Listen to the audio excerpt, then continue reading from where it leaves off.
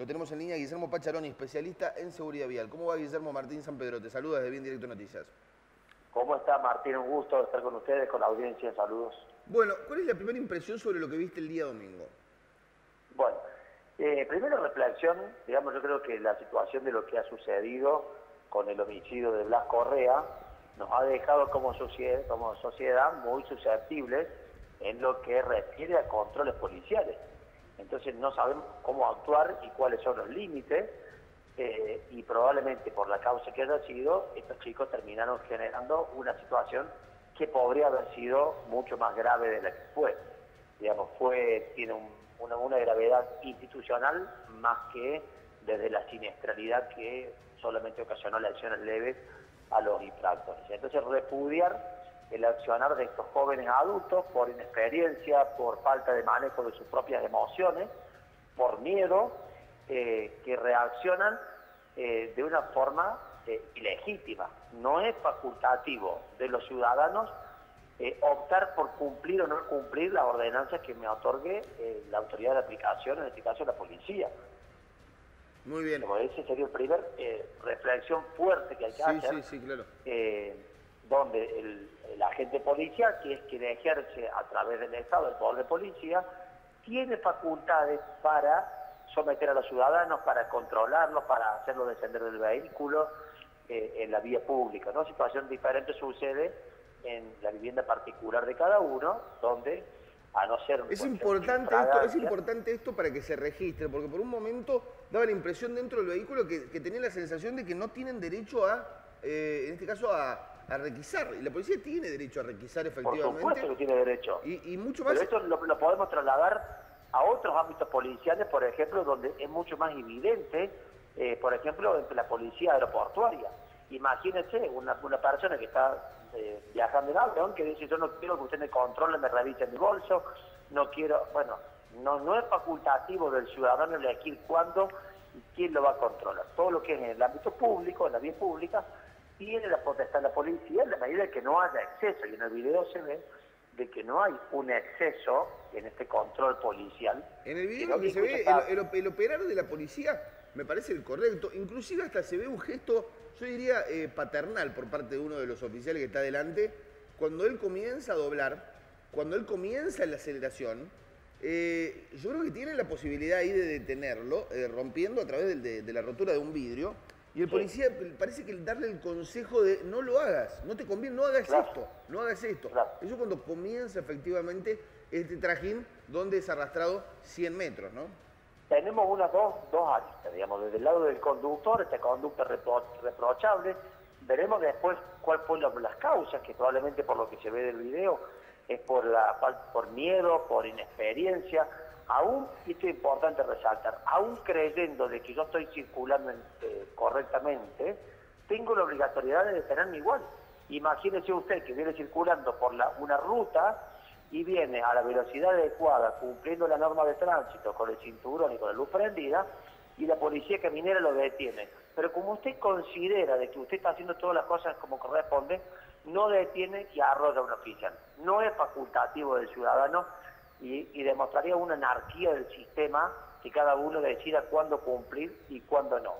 Y capítulo aparte merece el único reproche que se le puede hacer a estos agentes sería eh, exponerse ellos mismos a una situación de riesgo. Bajo ninguna posibilidad está, puede bien, está bien que los policías, en el, mientras realizan el, procedimiento, se coloquen delante del auto como si fueran conos o como si fueran una barrera de seguridad. Eso, eso, eso sucede en todos lados del mundo. Bien, Los policías eh, se ponen, se ponen delante de los países más violentos, incluso la, policía eh, pasa, por ejemplo, en Brasil, donde la policía puede desenfundar el arma incluso de forma legal. Acá en, Argentina no. Eh, aquí no, el, el, arma no, no se puede desenfundar, por supuesto. No, no, no se puede para disuadir. Es importante también refrescar que la función de policía es mantener el orden, mantener la paz, la integridad física de las personas y de los bienes. ¿Cuál es, el, cuál es, el, cuál es el, punto técnico en el cual eh, se les puede reprochar a los policías el accionar? Por eso, yo creo que el hecho de subirse al capot eh, de, este conductor eh, sería algo que bajo ninguna posibilidad podemos aceptar de que un agente policial, que, este policía es un ser humano, digamos, también tiene sus emociones tiene más responsabilidad que conductor, porque al portar un arma y al ser parte de la fuerza pública, tiene que tener, y tenemos que mejorar en capacitar a nuestras policías en mayor manejo de estas emociones, porque están permanentemente sometidos a situaciones de violencia, de estrés, de insultos, situaciones de riesgo extremos, situaciones delictivas.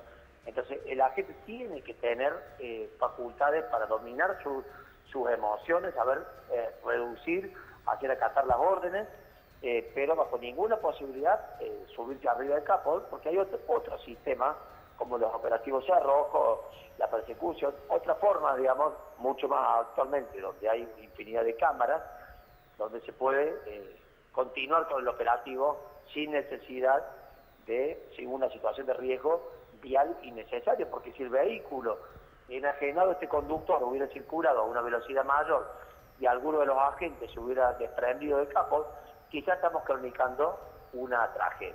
Más allá del absoluto reproche, vuelvo a decir, a la conducta temeraria delictiva que realiza este joven adulto, que por más de que tenga 20 años no deja de ser eh, mayor de edad y responsable. Sí, sí, responde, responde, plenamente por, por todo, ¿no? Y a por partir supuesto. de los 18 años responde plenamente Porque por yo todo. estoy viendo ahora que se está hablando, eh, como dando recomendación a los padres de que hablemos con nuestros hijos, por supuesto. No, no. Pero estamos no, hablando no, de una persona que es mayor de edad. Claro, no, no, no. Es, es- es un mal enfoque Y periodístico. otro cantar, si queremos, si queremos analizar la función de los padres, yo, yo tengo sobrinos que tienen esa edad también, y está buenísimo que estas cosas las hablemos, les enseñemos cómo actuar. No es lo mismo que me detenga una persona en el medio de una ruta eh, que no esté identificada, sea un control policial, donde yo sí tengo posibilidad de decir, yo no tengo por qué detenerme ante un particular que me dice que dice que, es- que es policía, ¿no? Pero no es el caso, en este caso De todas maneras, avanzar sobre una persona que, que- que tenés delante no se justifica en ningún caso, ¿no? Por Eh, supuesto, por supuesto. Quiero decir, ni, eso- siquiera incluso, temeraria. ni siquiera incluso en, en medio de una ruta solos con una persona que no se nos identifica. No, ¿eh? no, no, por supuesto, por supuesto, porque lo que hay que hacer es evitar el mal mayor.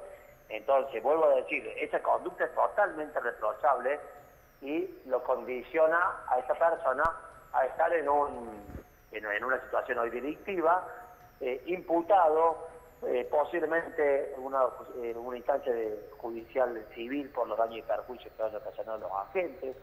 eh, y, y otro capítulo refiere situación que la venimos eh, refrescando, este comportamiento que está teniendo la Agencia Nacional de Seguridad Vial, de forma como si fuera un dictador, el director de la agencia llama a los intendentes que han emitido la licencia para que le quiten la licencia.